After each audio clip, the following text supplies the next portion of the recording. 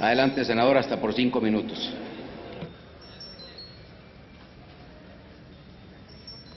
Bien, con el permiso de la presidencia, hemos escuchado con atención el punto de acuerdo que ha propuesto diversos y diversas senadoras del Partido Revolucionario Institucional. Dentro de este punto de acuerdo lleva implícita una crítica y un reconocimiento a ese que se dice ser el programa estrella del gobierno federal. Ni ha sido suficiente, ni ha sido bien implementado. Que se incorporen más municipios de acuerdo a los criterios de marginalidad, de alta marginalidad que señale el Coneval, es lo que le sugerimos desde el principio. Y sin embargo, hubo voces que aquí se desgarraron y señalaron que habría que darle la confianza a la Secretaría de Desarrollo Social. El gobierno federal no tomó en cuenta siquiera el primer pronunciamiento que hizo la Cámara de Diputados en su, en su presupuesto de egreso de la Federación al señalar qué municipios son los que se deberían de atender. Después, cuando le cuestionamos aquí al gobierno federal cuáles eran los criterios bajo los cuales habían señalado esos 400 municipios, nunca informó no ha informado avances, no hay parámetros para medir la eficacia del programa, tal pareciera que las reglas de operación brillan por su ausencia. Apoyar este punto de acuerdo, sin lugar a dudas, se convierte no solo en una suscripción de la voluntad de unos senadores, sino en un mensaje claro de decirle al gobierno federal que no podemos permitir que se siga mintiendo, que se siga usando los recursos públicos de programas sociales, al y se va, como fue la implementación de este programa.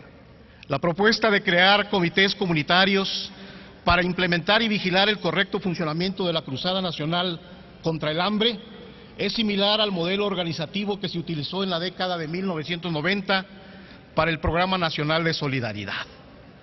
Solidaridad fue un programa que pretendió organizar a la sociedad de manera vertical desde el gobierno y lo que eso tiene como nombre y denominación es asistencialismo.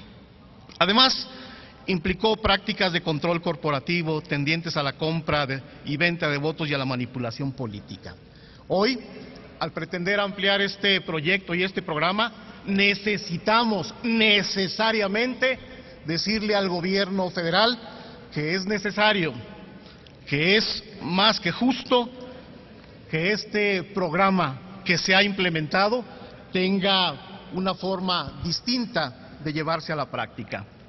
Durante los gobiernos del PAN, la política social tuvo una expansión sin precedente en su cobertura y en los recursos aplicados para ello.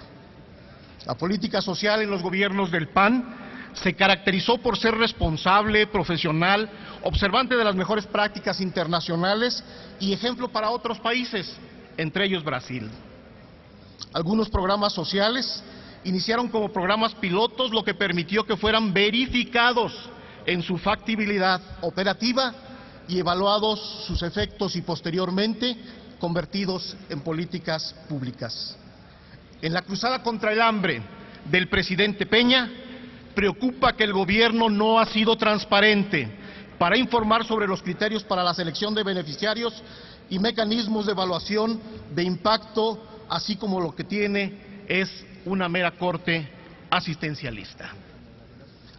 Acorde a los datos del Coneval, si se aplica el criterio de pobreza extrema, se incluirían 240 municipios de los 400 que ellos seleccionaron.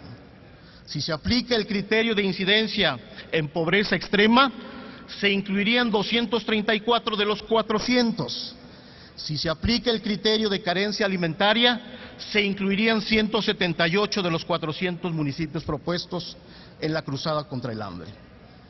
Es decir, es necesario ir con precisión a definir qué es lo que se busca y qué es lo que se quiere. Por el momento, no hay duda alguna de que este programa ha caminado con más errores que aciertos.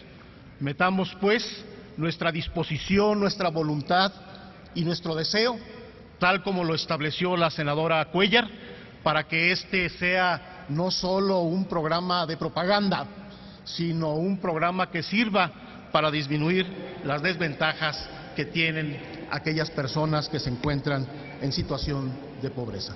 Muchas gracias. Gracias, senador Fernando Herrera.